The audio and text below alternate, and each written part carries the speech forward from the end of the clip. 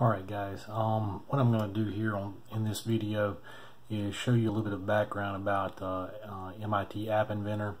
Uh, I figured I'd show you how to install the um, app and um, anyway, first first thing you're going to need to do is actually install, install on your cell phone the uh, MIT AI2 companion and you'll you see it here. Just go to the uh, Google Play Store and uh, you, you, see it right here. Just search for the uh, MIT uh, App Inventor or this AI2 companion. Either way it'll, it'll bring it up. As you can see I've already got installed on my phone. So I'm just going to click open. And this is what the app looks like right here. So anyway that's going to be your very first step in all this. Um, next what you'll need to do uh, is actually go to the um, App Inventor website and if you haven't um, done so already, you'll need to create a website or a um, create an account. I'm sorry. And in order to uh, get an account there, you'll need a Google account as well. So make sure you got a got a Google account. I'm I'm assuming you've got that.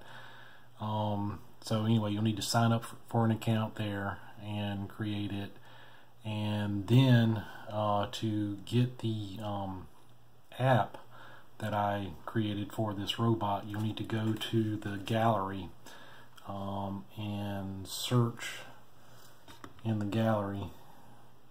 You just need to search for um, the in the search bar. You just need to search for GPS robot.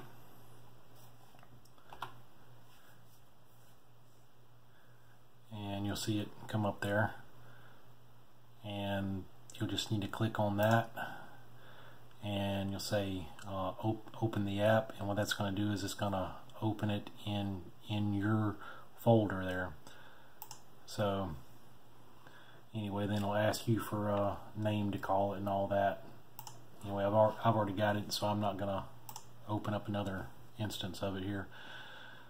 So anyway here here's the app. Um, this is what the uh, the app will look like on your on your cell phone you've got two different screens here. You got you got this one, and then you've got the uh, blocks window right here, and that's uh, kind of these right here are just buttons that are going to be created on your uh, on your phone on on the app. And when you look at the blocks, this is actually the code that's connected to those individual things, and you can uh, make changes to your to the code and everything if you want to. Although I'd say leave it alone until we until you make sure everything's working like it's supposed to. Then you can make make uh, changes to it as, as, needed. But anyway, this is the uh, designer portion of it here.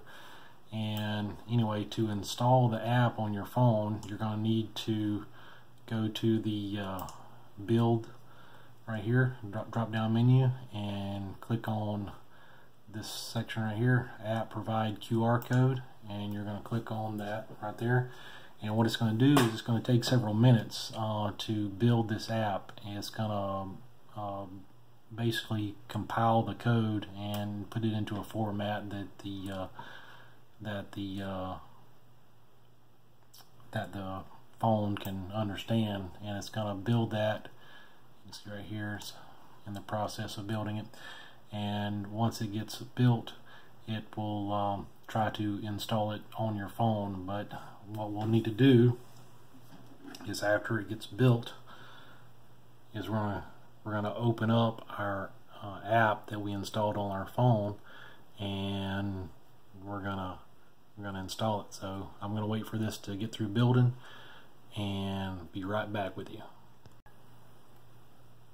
Okay the app uh, finished building and you can see there is a uh, barcode link here. And what we're going to do is we're going to get our get our cell phone app out and what we're going to do is we're going to click on scan QR code. So we'll click on that and you can see like a cell phone app or a uh, camera app actually opened up. And so what we're going to do is we're going to back off here and I'm going to take a let it focus in. You can see it took a snapshot of it now what it should do is it should ask us to install that the uh, the program. And it'll take just a second here for it to pull up. And you see right there it says install blocked. And we can go into settings. Now your phone might be you know different depending on uh, depending on your phone. But anyway we'll go into settings. And you can see it says unknown sources right there. We're going to click on unknown sources says installing from unknown sources may be harmful. Anyway this is perfectly fine. Promise there's no virus there. And click on OK.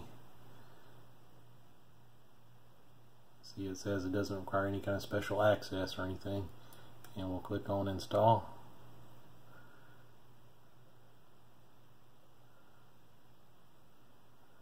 And it will install the app onto our phone while it's doing that I'll just pause it right here.